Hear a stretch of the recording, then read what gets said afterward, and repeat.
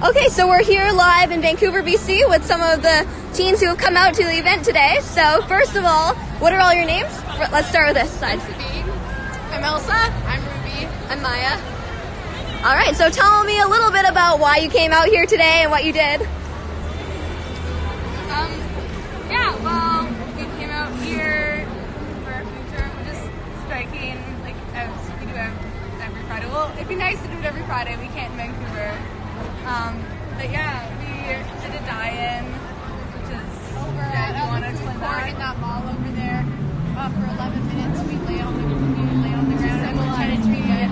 To symbolize the 11 years that, that we have left. that we have left. Otherwise, it's irreversible. Yeah. Yeah. Um, Kind of that. And then we Yeah. did that again at of in front of Tech Industries.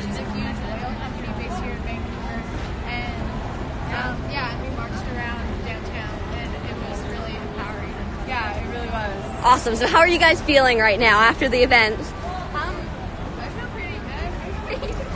like it, it feels like really empowering to come up here with like like people like actually skipping school from like a bunch of different places, and then everyone like together like striking. Yeah, and then yeah. honestly just like really hopeful because it's really easy to just think, oh, it's just me who cares about this issue, or it's just like five of us who care about this issue, but then to see hundreds of people coming out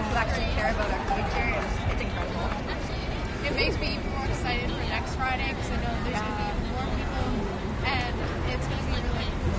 Cool. Yeah, so let's talk about next Friday. What's coming up? Uh, it's a global climate strike on the 27th. Uh, It's at City Hall. Yeah, we're doing it. Yeah. Yeah. It's epic. gonna be awesome. Yeah, and to fill in the blanks, let me just turn this around. Uh, we're expecting about 10,000 plus people to be coming to this. We have tons of business in Vancouver Oh gosh, alone. Yeah. So we have tons Oh, of businesses who are on board to help out. Let me turn it around. Let's get it like this.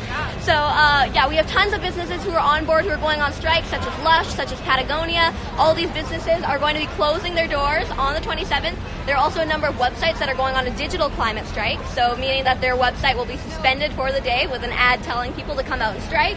Yeah, so we have many schools who are coming out. We recently had a teachers union that agreed to approve the strikes and support them. So we're expecting huge numbers, and I expect all of you to tune in on the 27th. It's going to be amazing. Thank you for watching.